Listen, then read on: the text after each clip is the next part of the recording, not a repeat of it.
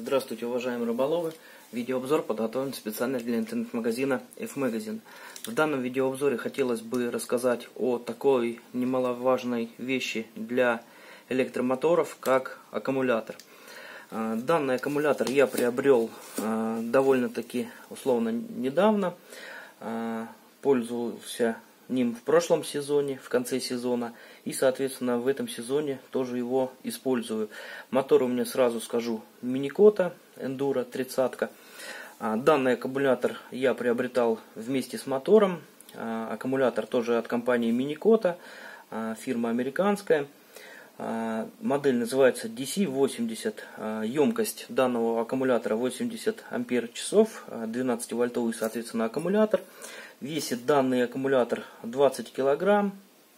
А, габариты данного аккумулятора, кому это будет важно, а, длина составляет а, порядка 28 сантиметров, ширина 17,5 где-то сантиметров и высота данного аккумулятора будет 19,5 сантиметров.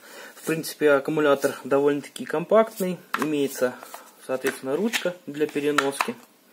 А, единственный э, такой нюанс, который мне показался не очень удобным, то, что клеймы идут стандартные, как на классических автомобильных аккумуляторах. Пришлось докупать клеймы такие вот, дорабатывать немножко здесь, э, чтобы, соответственно, подключать электромотор. А, данный аккумулятор является аккумулятором, соответственно, глубокого разряда, то есть он не боится э, глубокой разрядки.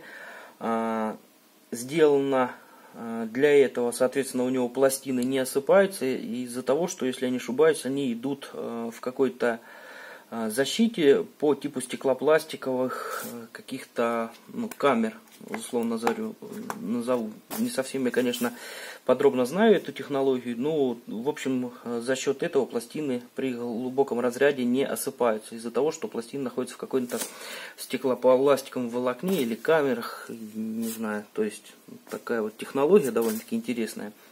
В отличие от классических автомобильных аккумуляторов, которые живут недолго.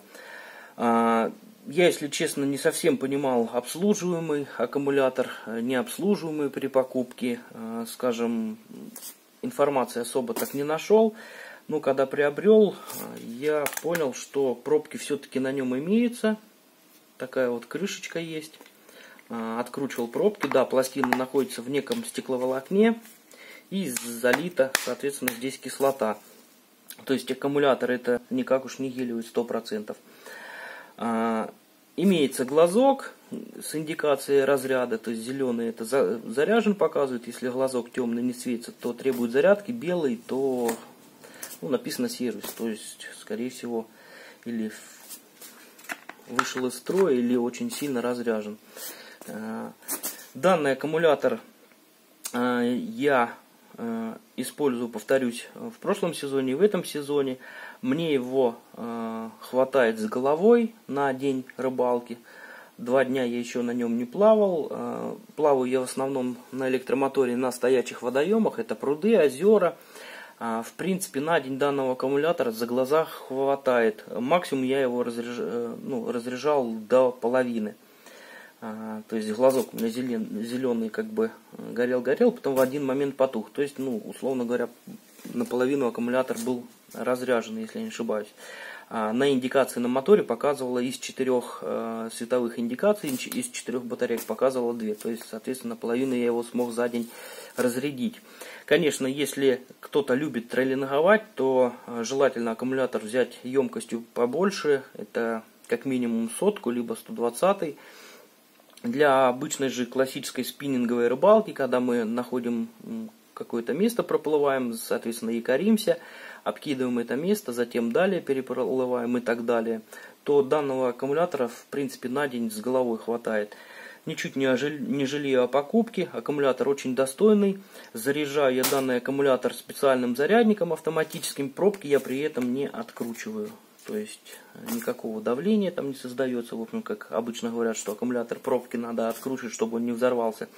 То есть автоматический зарядник заряжает его в щадящем режиме.